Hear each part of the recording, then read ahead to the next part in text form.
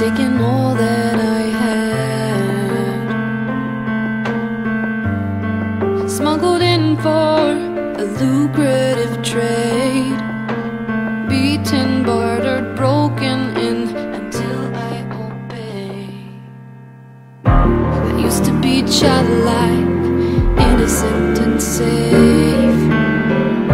But now I'm someone else's treasure, a stranger's pleasure, smothered in So come with drugs, but I'm not numb. All I feel is pain. Is this all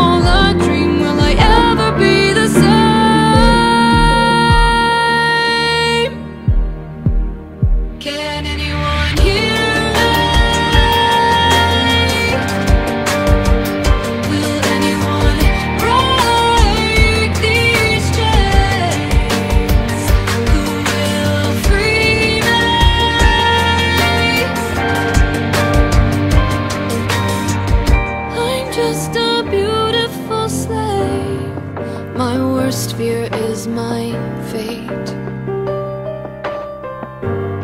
I'm getting older each day. Every girl to